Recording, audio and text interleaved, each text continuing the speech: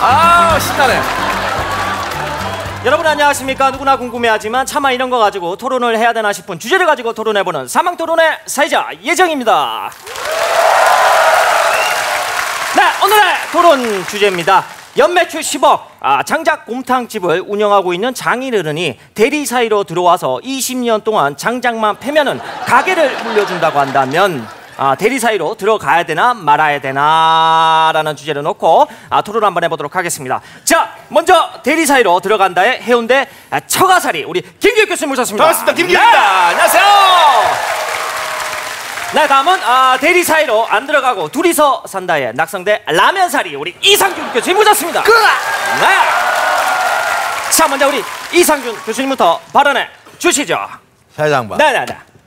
아이 뭐 그 장작만 패야 되는 건데 그거 그거 뭐 장사 뭐 공탕집 뭐 얼마나 잘 되는데. 아, 토요일 7시에 이 대기 번호표가 200번대까지. 아, 토요일 7시에 네. 200번 때까지 줄 서 있다고? 네, 엄청나죠. 그럼 나 안 해. 예? 다 돈인데 왜 안 해요? 나 무한도전 봐야 돼. 어, 식스맨 궁금해 죽겠는데 그걸 장사를 하고 있어. 아, 식스맨이요? 아 이거 장동민이 되는 거 아니야 이거? 뭐요? 그럼 배 도초- 아픈데? 뭔 소리야? 배가 왜 아파요? 누구나 후보가 될 수 있다는데 왜 나는 왜 안 된 거야? 여러분 생각해 보세요. 제가 항상 이 토론하면서 돈을 따라갔습니다. 네. 어. 하지만 지금은 돈을 따라갈 수가 없어요. 왜? 장인어른이랑 같이 어떻게 사냐 이거. 아, 그죠. 불편해. 돈을 아무리 뭐 100억, 1000억 줘도 장인어른이랑은 못 살아요. 어. 물론 돈 많은 장인어른한테 이렇게 어, 결혼해가지고 가면은 그 집에서 살면은 집장만 안 하고 결혼할 수 있는 좋은 점이 있어요. 그 어. 집에서 살 수 있는 좋은 점이 있다고. 근데 그런 게 다 필요 없어. 신혼 때는요 넓은 집이 필요 없어요. 어, 그래요? 왜? 왜? 붙어 있으면 돼. 아, 붙어 있으니까. 솔직히 신혼 때는 고시원 같은 데 있잖아요. 신혼. 고시원. 혼자 명이 눕는데. 그죠? 굉장히 작죠? 신혼 때는 이런 데도요. 사치야. 왜요? 왜? 더 있으니까. 겹쳐 있습니다. 그 정도로 집이 좁아도 행복하게 살 수 있다 아. 이겁니다. 이 좋은 신혼생활을 포기하고 내가 곰탕집 물려받으려고 왜 굳이 거기 가서 불편하게 생활하냐 이거야. 어. 여자분들도 생각해봐. 어? 시어머니가 곰탕집 물려줄 테니까 20년 동안 김치만당 그래. 아우. 야. 니네 왜 이렇게 싫어해 시어머니를? 나 깜짝 놀랐네 갑자기 20년 동안 김치만 담그래 담글 거야? 어머니 어머니 여기 어머니 계시네 어머니 만약에 다시 어머니한테. 결혼해서 시어머니가 곰탕집 물려준다고 어 20년 동안 김치만 담그래요 그럼 담글 거야? 안 담글 안 담근대잖아 어. 어? 어머니도 안 담그죠 결혼하셨잖아요 허 이거 방송에 나가시면 안 될 것 같은데. 아이, 뭔 이거 어떻게? 하냐? 어? 이렇게 결혼했는데 20년 동안 아무것도 안 하고 젊은 다 버리고 김치만 담그는 거 이걸 사자성어로 뭐라고 해? 뭐라 그래? 배추도사 대추도사. 어, 총각김치는 뭐야? 뭐야? 무도사 무도사. 김치에서 머리카락 나면 뭐야? 뭐야? 머털도사지 뭐 뭐야? 자, 다르게 한번 생각을. 해보자면 부모님처럼 한번 생각을 해봅시다. 자, 네. 여러분들 장인어른이 뭐가 어색합니까? 내가 사랑하는 사람의 아버지인데요. 그러면 내 아버지랑 마찬가지잖아요. 그죠?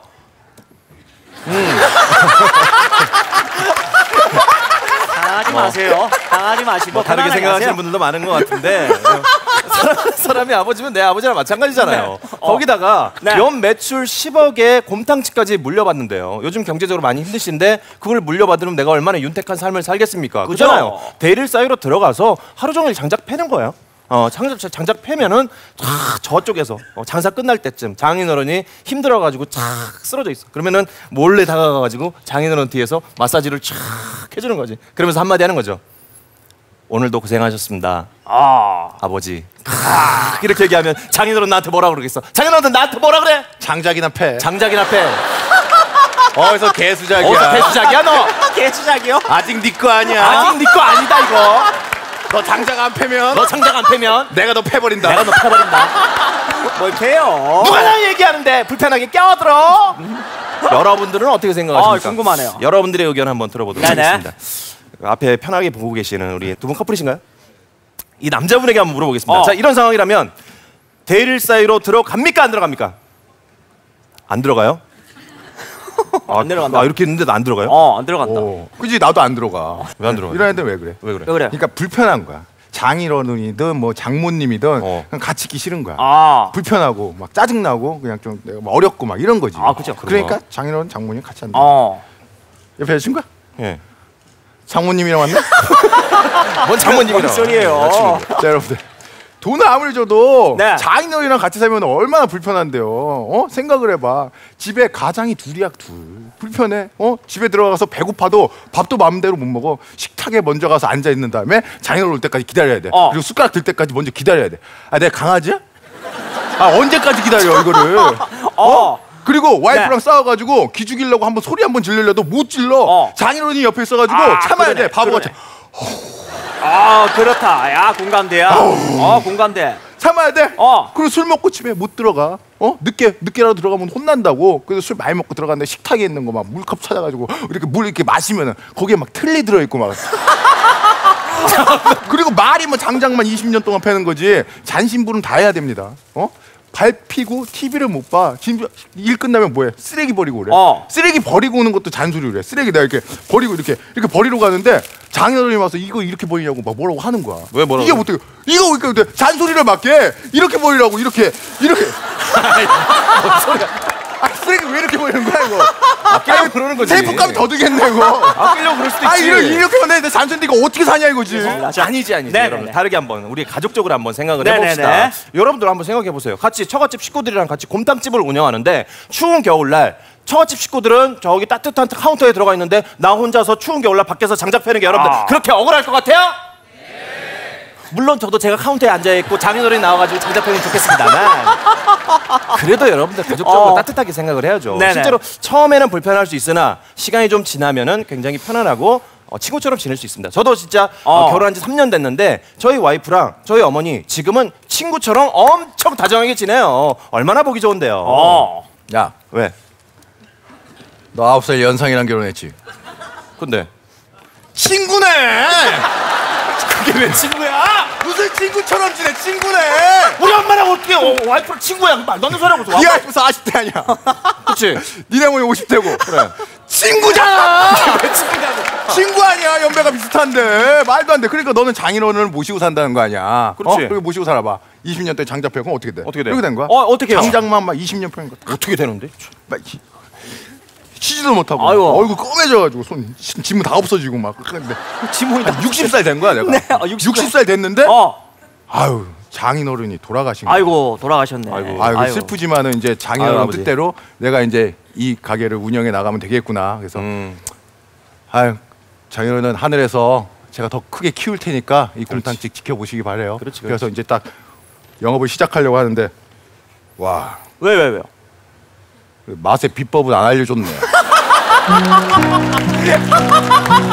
아 비법을 안 알려줬어요? 레시피를 안 알려줬어? 야 어떡해 이거.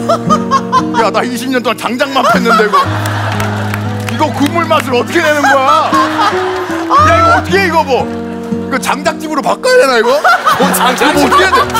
이거 안 되겠다 일단은 일단은 이거 24시간 장작집이니까 24시간 이 국물을 과보자 그래가지고 장작 펴가지고 잠도 안 자고 이거 맛 내야 되니까 어. 24시간 뚫는 이게 본 거야. 어, 24시간 아, 뚫는 20시간 됐다. 됐다. 됐다, 됐다. 뚜껑을 됐어. 딱 열었어. 어 맛있겠다. 야 왜 왜 왜 왜? 이거 다 쫄았네. 다 쫄았네. 이거 한 그릇 나오겠네 한 그릇. 아유. 이거 어떡하냐? 야 이거 사람들 줄 서서 기다리는데 큰일 났다. 야. 일단 급한 대로 네. 요거 이거 분유가루 타가지고 국물이라도 뽀얗게 해가지고 속에서 팔아야겠다 그랬어. 분유요? 어? 분유가루 딱 해가지고 딱 나갔어. 어. 어. 서 오세요. 야 왜 왜 왜 왜? 이영돈 PD네. 하필 그날 왔대. 아, 그날 와. 아이고야. 우리 집 쌍망했네 이제. 예, 다 드시면 요거트 하나 주면 되겠지 뭐. 에이. 이렇게 해 이렇게. 뭐 요거트 이렇게 준 거야. 자, 자 시간 다 됐습니다. 마지막으로 최후의 발언 10초씩 해주시면 되겠습니다. 자 여러분들 처갓집 식구들도 내 가족입니다. 편하게 생각하시고 같이 사십시오. 김규기였습니다. 네. 네 여러분 처갓집은 양념통닭입니다. 뭔 소리야 그건? 알겠습니다. 자 여기까지 듣고 지겨워, 지금부터 여기 계신 여러분들이 선택하도록 하겠습니다. 나는 아, 대리 사이로 안 들어간다 라고 생각하시면 여러분들 1번 아, 대리 사이로 들어간다 2번을 선택하시면 되겠습니다. 자 옆 사람 눈치 보지 말고 결과 나왔나요? 어떤 결과가 나올지 김기우 패! 네, 다음 주 사망 토론 주제는 아, 술 취해서 똥 쌌는데 아, 변기 덮개를 안 올리고 쌌다면 물 안 내려도 되나라는 주제를 넣고 토론 한번 해보도록 하겠습니다. 자 이상으로 사망 토론의 예정이었습니다.